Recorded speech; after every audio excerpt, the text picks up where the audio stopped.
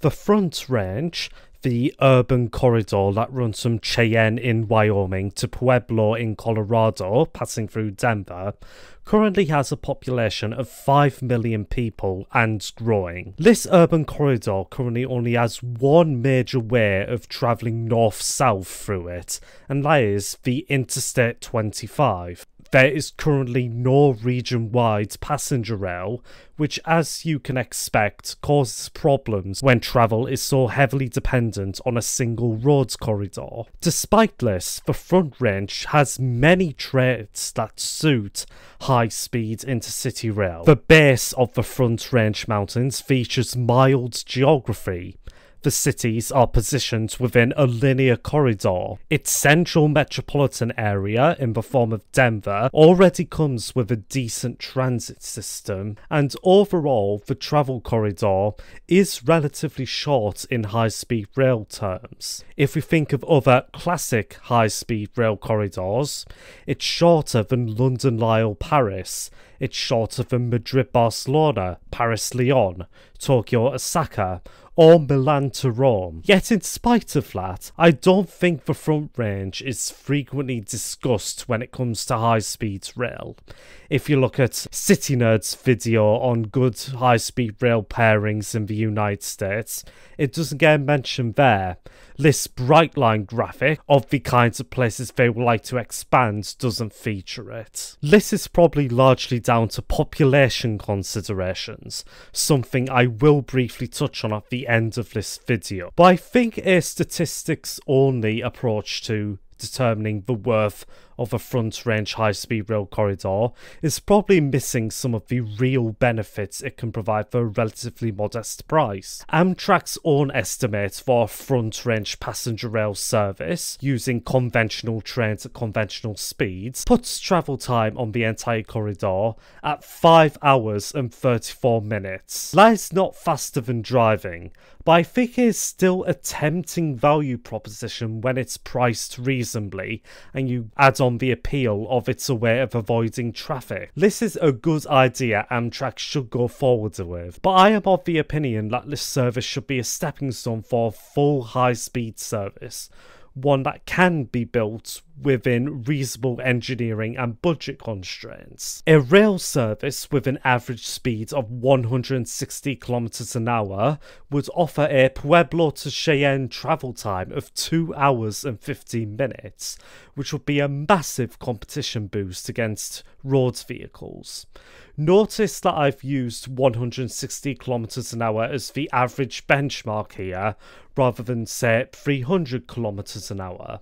Part of that is for consideration fact that trains need to slow down and make stops, but it's something I want to emphasize, like in a video I have already made, which is that you don't need full 300 kilometers an hour operations to get the, all the benefits of fast, high speed intercity rail. And that is something I want to keep in mind when doing this. I am not proposing a route that would be top speed all of the time from city to city but rather I want to keep in mind a reasonable budget and scope of the project, sticking to existing transportation corridors, avoiding cases where significant land acquisition would be required, and taking advantage of downtown cores and past station locations to build on areas that already have decent amounts of density to support passenger demand.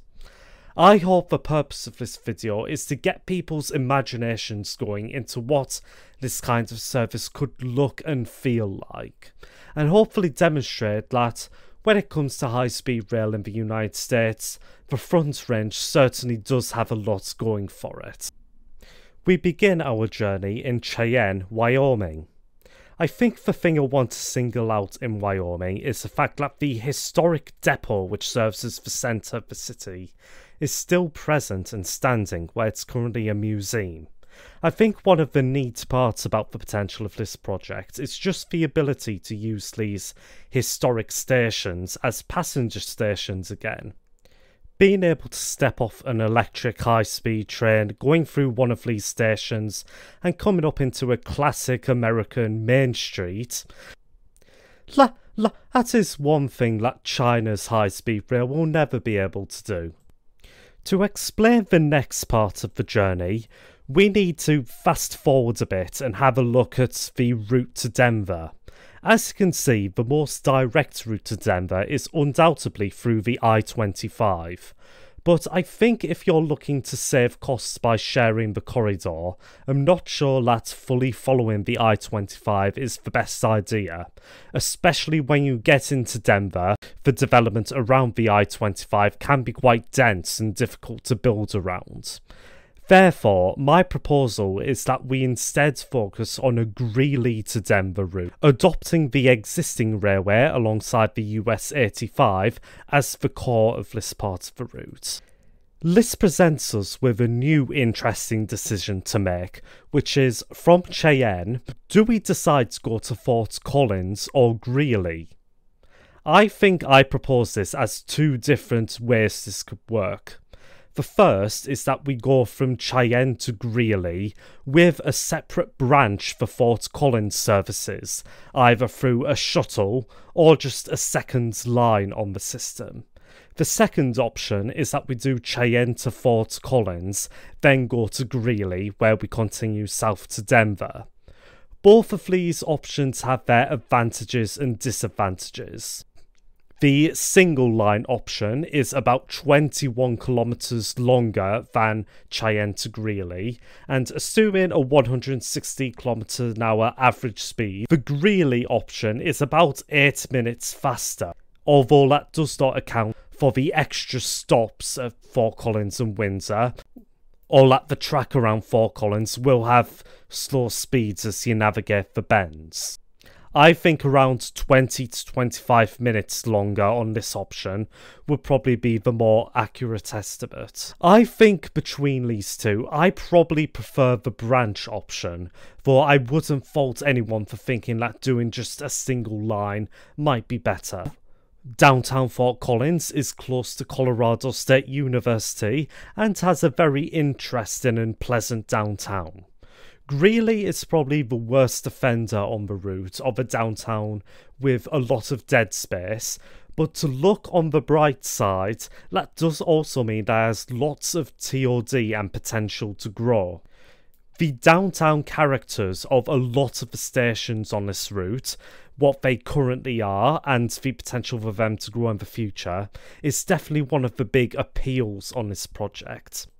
Going onwards, Greeley to Denver, we continue following the US 85 and make a single stop in Brighton along the way. Brighton has a very nice main street. It would be cool to see it served by rail.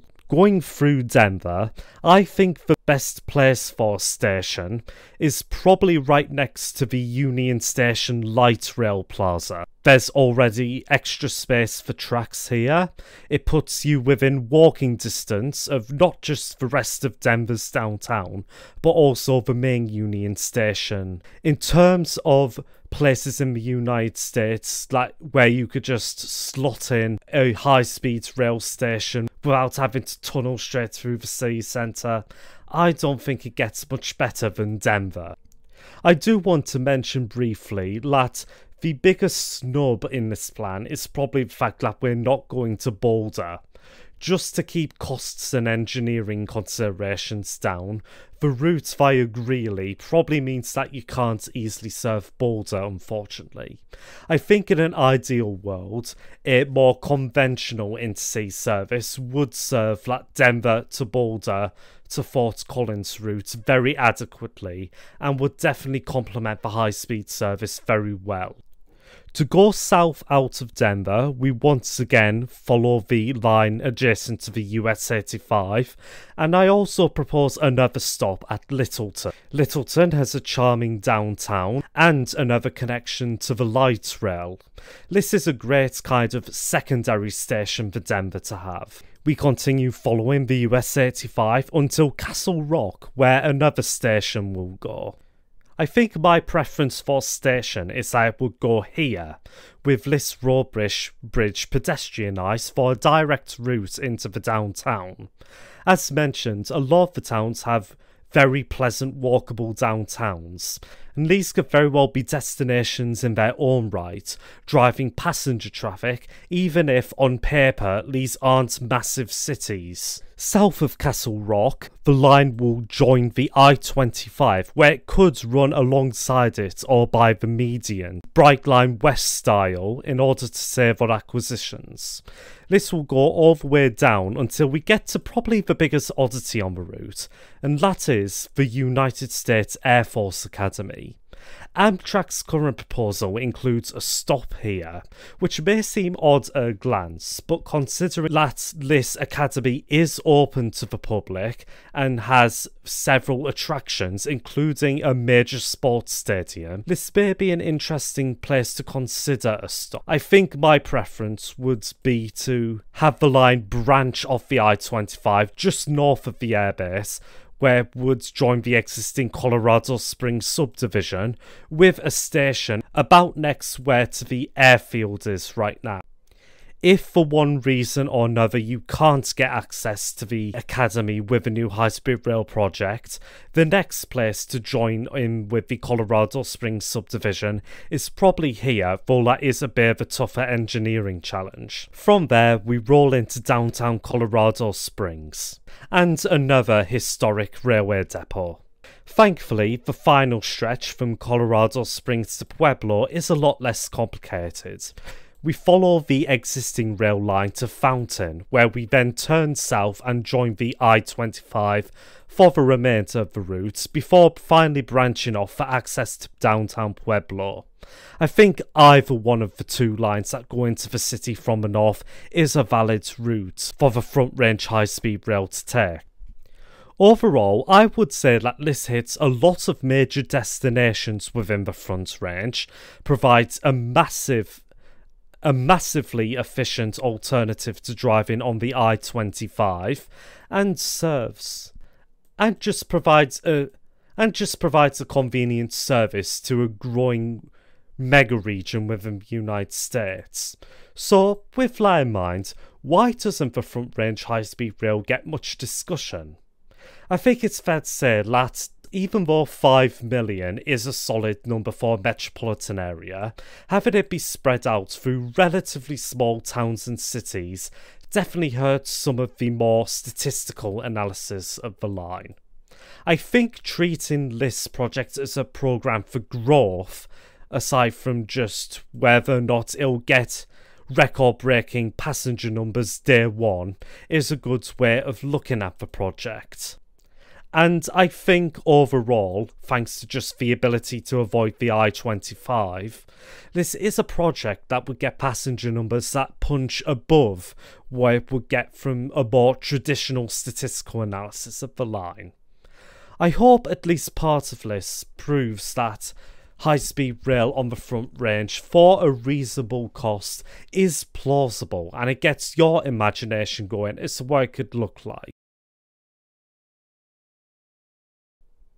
Also, this would mean that Wyoming would get high speed rail before Texas, and that would just be really funny. Thank you for watching.